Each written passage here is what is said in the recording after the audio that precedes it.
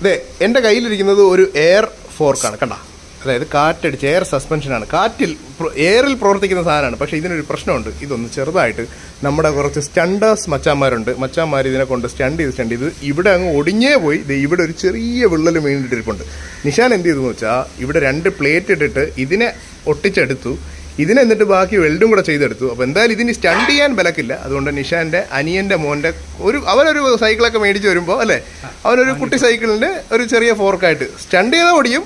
പക്ഷെ ഒരു കുട്ടിയുടെ വെയിറ്റ് താങ്ങുമെന്നുള്ളൊരു പ്രതീക്ഷയില്ല. സ്റ്റണ്ട് ചെയ്യാൻ പറ്റില്ല. റിസ്ക് ഒന്നുമില്ലല്ലോ എന്നാലും ഇതുപോലുള്ള ഒരു പരിപാടി നിങ്ങൾ ആരും കണ്ട് അനുകരിക്കണ്ട. ഞാൻ ജസ്റ്റ് ഒന്ന് കാണിച്ചു എന്നേ ഉള്ളൂ കേട്ടോ.